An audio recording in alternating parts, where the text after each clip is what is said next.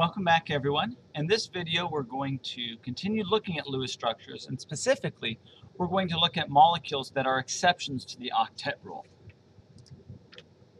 So when we first started talking about Lewis structures we said that we're going to create them such that each element has its completed octet and that's because it's most stable. Well it turns out there are exceptions to that that we need to understand there are three categories of exceptions. There are exceptions where we have an odd number of electrons, which therefore makes it impossible to have an octet. There are exceptions where we have less than an octet. We call that having a hypovalent element or having more than an octet, and that's called when the ele element is hypervalent. So let's talk about odd elements with odd numbers of electrons we tend to call those substances radicals or free radicals. And you can find them in car exhaust in the form of nitrous oxide or nitrogen dioxide. You can find them in the human body as the oxygen, uh, oxygen radical. And these are caused by incomplete combustion, radiation, harmful substances such as fried food, alcohol, and tobacco, and also within normal biological processes. They are very, very reactive, or in other words, unstable, and are dangerous to life. Um, interestingly, what, the way that we protect ourselves from free radicals in the body is by vitamins. Vitamins, also called antioxidants, will get destroyed rather than the other parts of our body. Let's now talk about hypovalent compounds. This is where you have an element that has fewer than eight valence electrons um, in its uh, completed form. These will, we will see, will tend to contain the elements beryllium or boron. These molecules are very rare um, and are not very stable. In order to obtain them, you need to have you need to create them under very low pressure conditions. Some examples would include beryllium difluoride, boron hydride, or boron fluoride. And this is where there's simply not enough electrons to go around. These molecules are very unstable. Our last category is most common of the three, um, especially with what we'll be dealing. These are where we have hypervalent compounds. They have an expanded octet. These are much more common and they occur when the central element is in the third period or below. So what we're looking for there is having that the element is very large and that they tend to be bound to very small electronegative elements. And some examples of that are listed for you on the screen. Now, what's the reason for that? Well, when we're talking about having an expanded octet, we want to have lots of electron density. In order to minimize the repulsions that there would be due to extra electrons, this can happen when your central atom is large. So if you have a small central atom versus a large central atom, then the electron density, if you were to put 10 electrons around each, those 10 electrons can be spread farther apart from each other in the large element versus the small element, and that's going to minimize repulsion. That's why we only ever see expanded octets in, in large elements. And when you attach them to small electronegative elements, then what happens is they pull the electron density away from the central atom towards themselves, further reducing the strain on the central atom due to it having more than eight electrons.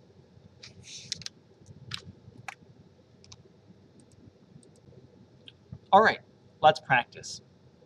For which of the following molecules is it not possible to draw a Lewis structure that follows the octet rule? I want you to try this on your own. And so pause the video and come back and I will walk you through the process. Welcome back. So we want to know which element, for which element is it impossible to draw it following the octet rule. Remember, the steps for writing out for drawing our Lewis structures. We need first to count the electrons. Xenon tetrafluoride has 36 total electrons. The next step is to draw the central atom, and the central atom um, will be the least electronegative element.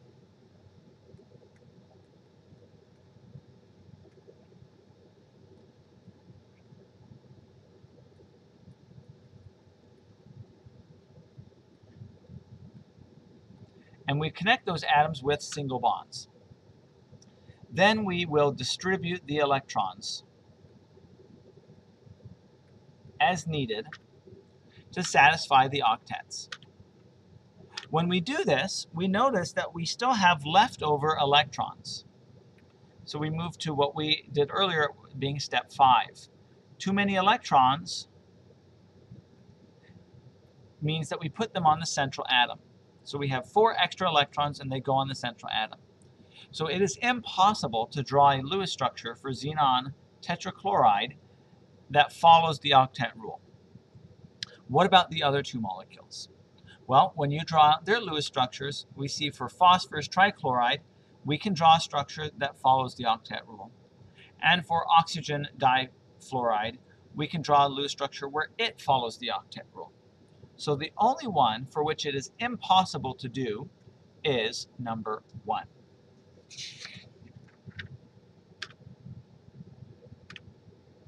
Okay? At this point, I would like you to do some extra practice. I've listed here six molecules. I want you to try and draw out the Lewis structures for each of the following and then identify whether they are uh, they follow the octet rule or if they violate which violation they are. So pause the video and, come, and then come back after you've done that and I will show you the answers. Welcome back. So for beryllium dihydride, that looks like the following. And this would be a hypovalent molecule, too few electrons. O2 minus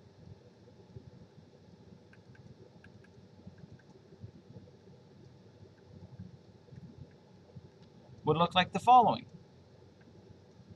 Or I guess rather, what I just drew. This has an odd number of electrons. Now, you could have drawn it where the odd number was on the element on the right. Or maybe you drew it with a double bond and an odd number of electrons. It turns out that there's no, no good, good way to draw out the Lewis structure for an odd number of electrons. This is sulfate. Sulfate looks like the following.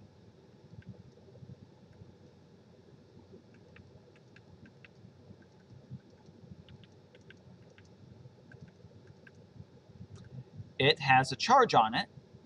We need to indicate said charge.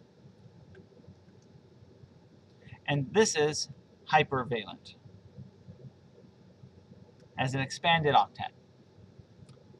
BH3, boron hydride. Looks like the following. This is also hypovalent. PO4 3 minus.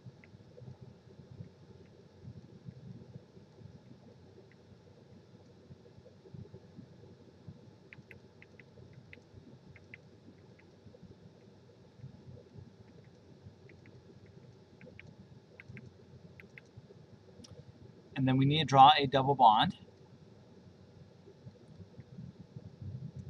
Include the charges, 3 minus. So this is also hypervalent. And then NO2, that has a total of 17 electrons, so we can already tell that's going to be odd. Nitrogen in the center, oxygens on the left and right distribute the electrons. We've got 16 shown. Have an extra electron. We're going to need to form a double bond. You can see that nitrogen is not satisfied. Or we could have drawn one where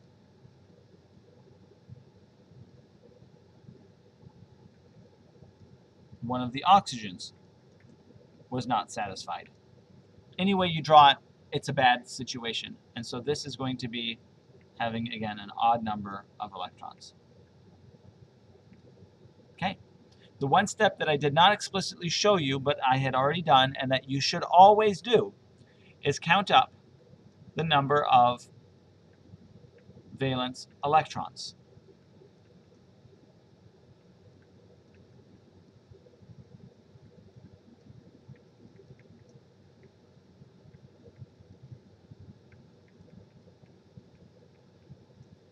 Okay, that's it for this video.